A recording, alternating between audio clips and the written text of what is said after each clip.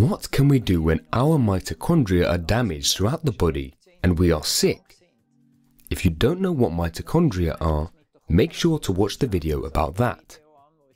I'll explain exactly how mitochondria work there. Research on mitochondria began in around 1970. Their experiments were made with hypoxia therapies. That means you deprive the oxygen of the human body.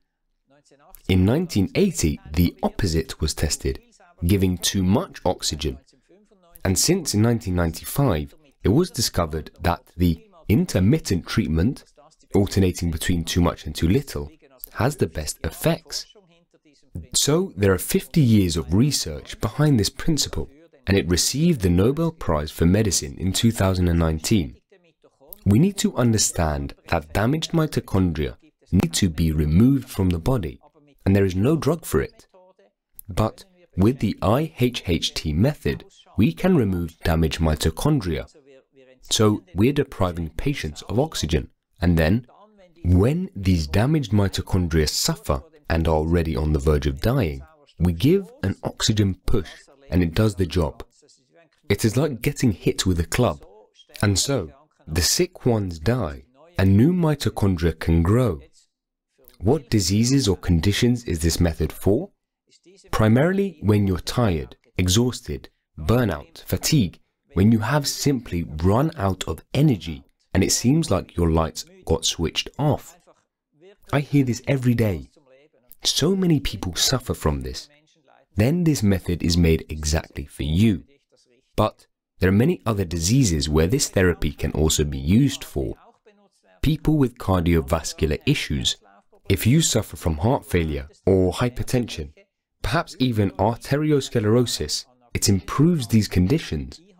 Lung diseases, asthma, COPD, you'll see how much you can breathe better after IHHT treatment. The immune system is massively strengthened because the cells that form antibodies, the blood cells, etc., are also strengthened and can contain more energy again. Sleep disorders, basically everyone who used this method, tell us that they can sleep better afterwards. The fat metabolism is accelerated, so you can actually lose weight with this method. Muscle mass increase. Diabetes type 2 can get better. You need less medication. Stress resistance is improved. Red blood cells are increased. The method is equivalent to altitude training. So as athletes go to 5,000 meters or as high as possible, then the more blood is formed and it is the same with this method. It also has anti-allergic effects. The hormones increase, and stem cells in bone marrow can also be improved. You see the indication for this method. They are almost limitless. Well, how does such a treatment work? You should come in 10 times, ideally twice a week. But if that doesn't work, then once a week is okay too. And after 10 times, you start to feel first improvements. Virtually everybody tells us that after 5, 6, 7 times. They feel much better. And there are people who come right back a second time for another set of 10 times because they simply realize the health benefits. There are even people who come almost a whole year every week it is also important to know that when we produce new mitochondria in the cells,